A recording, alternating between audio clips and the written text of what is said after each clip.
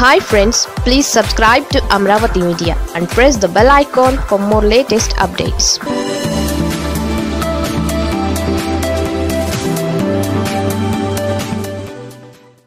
Rajnath సింగ్కు Raghurama ఫిర్యాదు. ఈ ఆరోపణలకు ఆధారాలేవి?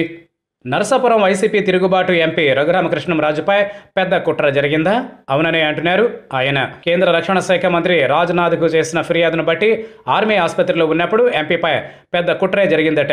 సికింద్రాబాద్లోని ఆర్మీ ఆసుపత్రిలో వైద్యం చేయించుకున్న ఎంపీని మళ్ళీ అరెస్ట్ చేసేందుకు ఏపీ పోలీసులు ప్రయత్నించారట.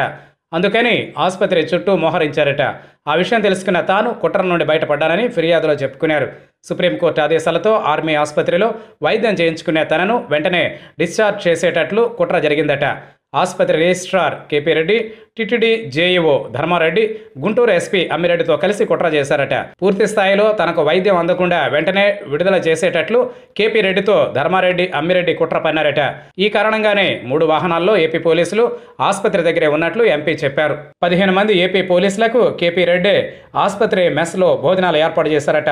పోలీసులకైనా మెస్ బిల్లును కూడా ఎంపీ తన ఫిర్యాదుతో జత చేసినట్లు చెప్పారు.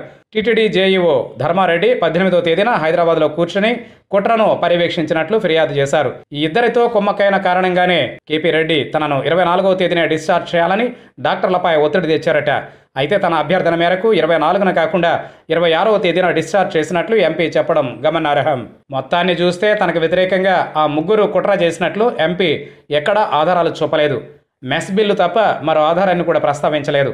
నిజంగానే ఎంపీని ఇరవై నాలుగవ తేదీన డిశ్చార్జ్ చేయించాలని ఆసుపత్రి రిజిస్ట్రార్ కేపీ రెడ్డి అనుకుంటే డాక్టర్లు ఆయన మాట కాదని ఎంపీ అభ్యర్థనను మన్నిస్తారా? ఆసుపత్రి డాక్టర్లకు తమ రిజిస్ట్రార్ మాట కన్నా ఎంపీ మాట ఎక్కువేమీ కాదు.